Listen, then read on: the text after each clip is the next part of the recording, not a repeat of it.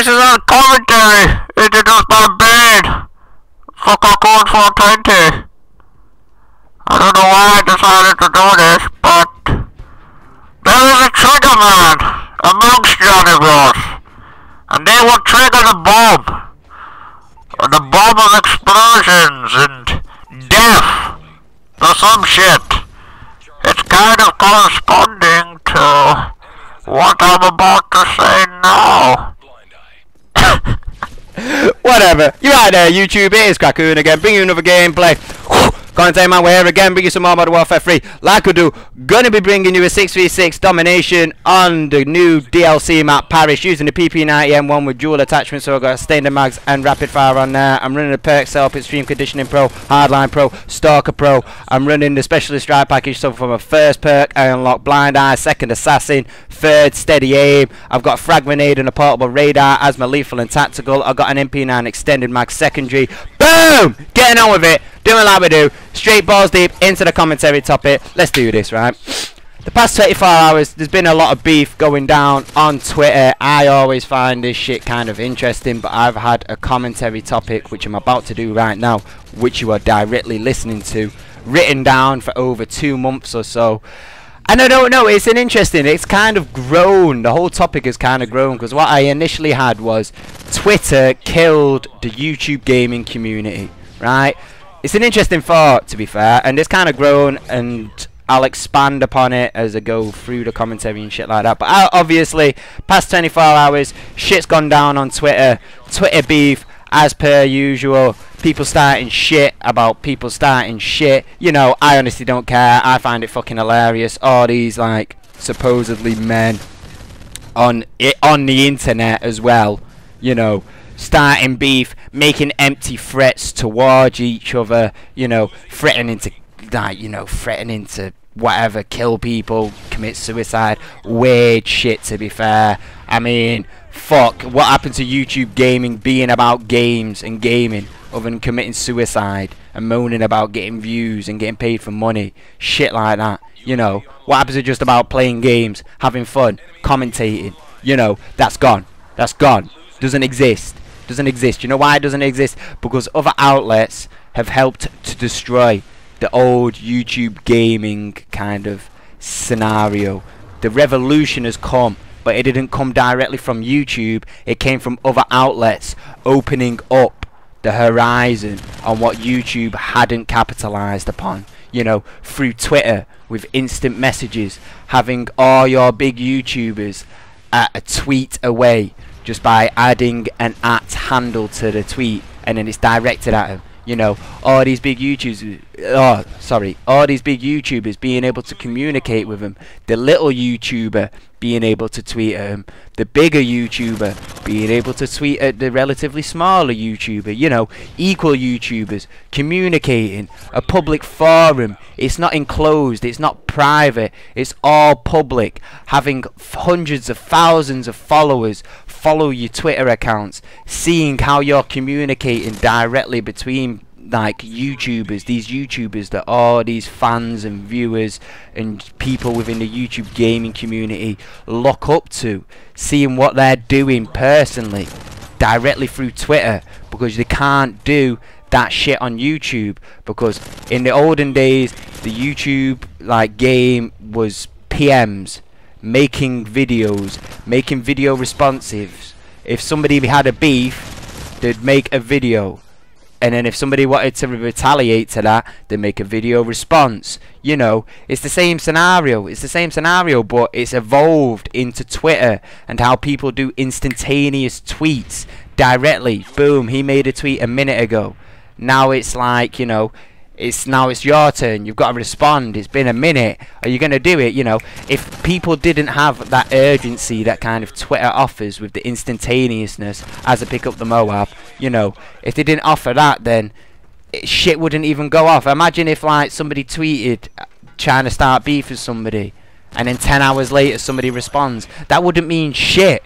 That wouldn't mean shit. That's essentially what it could be like on youtube. If somebody made a video calling somebody out then somebody made a video response 10 hours later, it wouldn't have the same response, you know. But because of Twitter, you know, directly, instantaneously through Twitter. It's a direct response, direct conflicts, instantaneous, you know, battling, warring it out, you know, beefing it up, whatever you want to call it. I don't know. I find it pathetic. You've just got to look at other scenarios recently within the YouTube game, though, in which the scenario between the Hawaiian boy and the Air Force pilot and how he made a video directly calling this other guy out with a greater, larger subscriber base than he could ever imagine to have and how in the normal sense that would have probably never have happened that would have never have happened imagine like if somebody uploaded a video tomorrow calling out another big YouTuber and they just did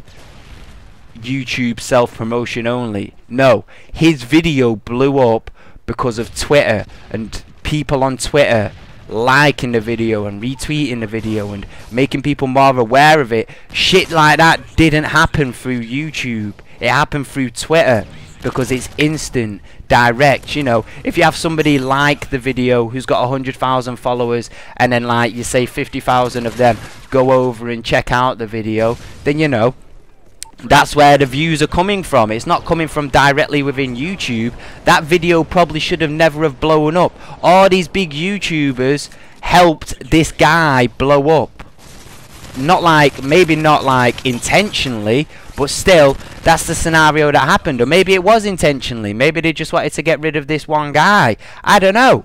You know, you don't know this shit, but that shit would have not have blown up directly through YouTube. Yes, it would have gained some exposure, but what really helped it to explode was the direct pushing effect from all these other YouTubers on Twitter and letting it be known, you know, getting it out there to the fucking community and shit like that. It's it's, it's a fucked up scenario. It honestly is because Twitter has essentially ruined what the YouTube game used to be. I mean, it's now Twitter has turned it into the direct communication between YouTubers.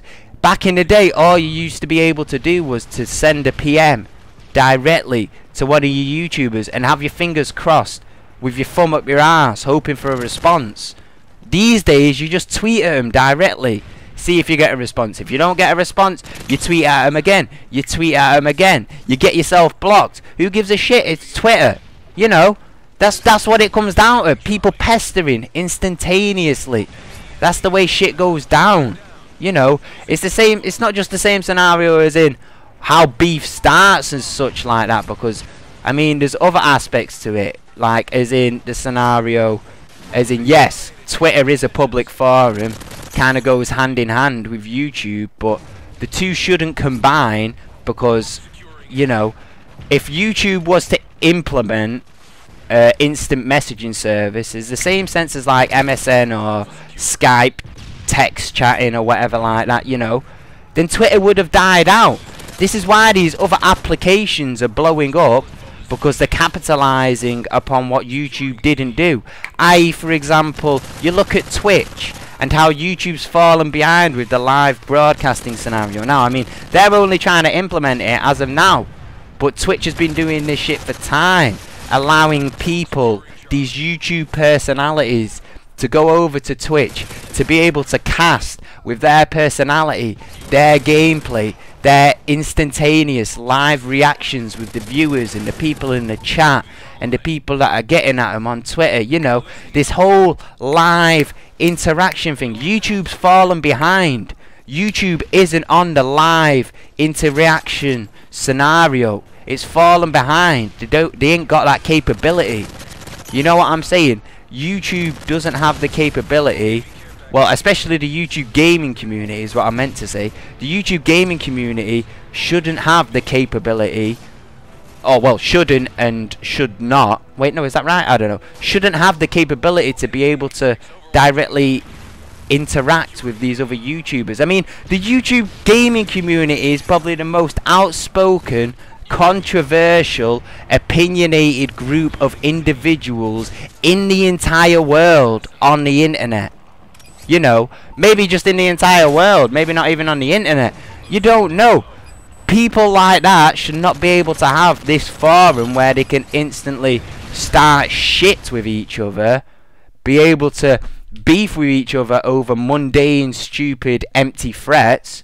You know, this whole scenario's fucked, and I mean, this is what's destroying the way YouTube used to be and turning it into the YouTube revolution of what it's going to be ultimately from now till the end. You know, this is what it is. It's not about gaming commentaries anymore.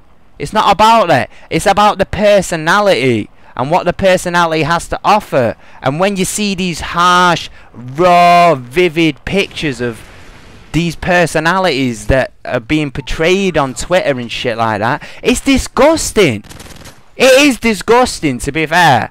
That's why I don't get involved with any of this beef. And I mean, the only reason I'm doing this commentary is because I've had like this topic written down for months, and over time it's gradually evolved as I've like put more, you know, corresponding factors into it and shit. You know, it's it's a fucked up scenario. It is a fucked up scenario. We are part, like I said, we are part of one of the most controversial, individual, opinionated communities out there. You know, and just with the whole kind of new wave media outlet explosion, just like with Twitter and, you know, Reddit and Twitch and everything everything that's opening up these public forums is just it's it's destroying what YouTube used to be. Everything that used to be done on YouTube comparable to beef was a slow process. People would make a video calling somebody out, then somebody would make a video response, then so on, and then so on. I remember the days when you'd have like 10 video responses, and that was what the entire YouTube gaming beef was based around. Now it's gone into this instantaneous. All you've got to do is as well is look at the fact it went down on Twitter. This beef went down on Twitter.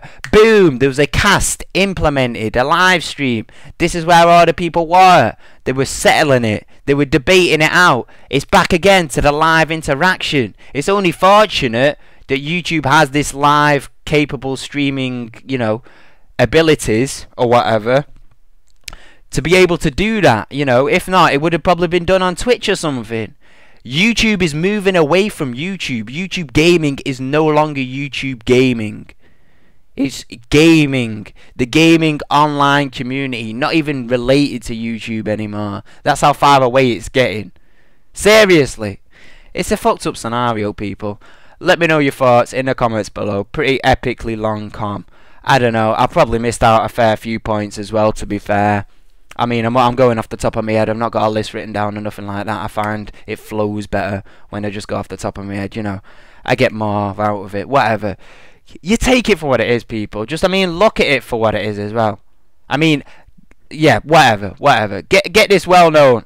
Let me know what you think in the comments below. Let me know. Let other people know. Let other people hear your thoughts. Let other people hear my thoughts, my theories, everything like that. You know.